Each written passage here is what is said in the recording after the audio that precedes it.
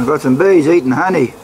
So we've had rain for the last couple of days here and um, uh, so the bees are quite hungry so they, they were uh, going for the little bit of honey that was in the wax in my wax bin and uh, had a little bit of a spill on a on a on a bottle I got here and um, other bits and pieces and so the bees are cleaning that up. So I just want to get a close-up of this bee eating honey. You can see it really see him really gorging it.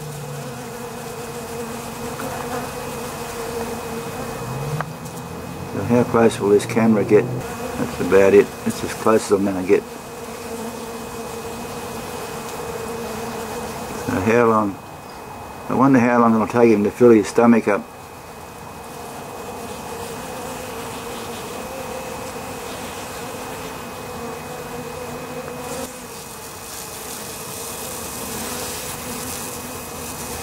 you got an incredible uh, mouth part. They can do so many things with that mouth. They've got teeth on that mouth they can uh, use to chew things.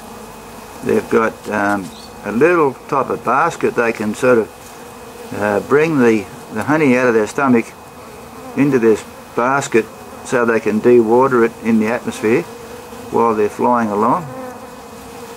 They can transfer honey from to each other.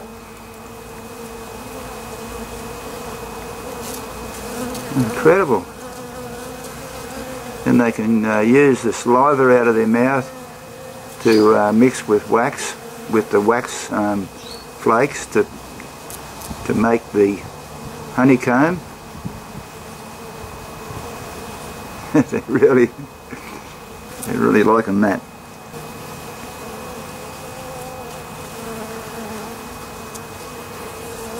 Oh, fantastic.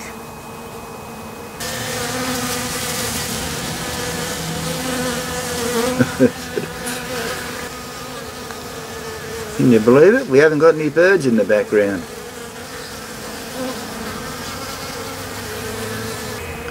I see I see one bee here sort of stuck in the honey. He can't walk, but he's still at the same time. He, he's at the same time he's trying to free his legs up. He's still eating honey at the same time. This one here. So once all the bees eat up all the honey, well these ones will be free to fly away. Just clean themselves up.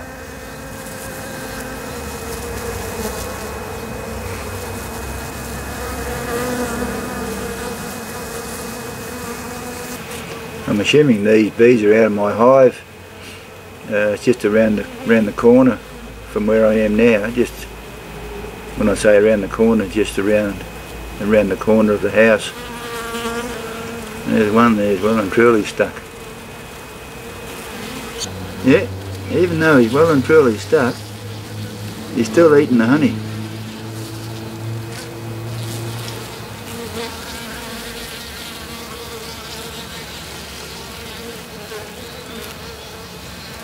Amazing. Oh well, thanks for watching. Uh, I'll catch you later on. Bye.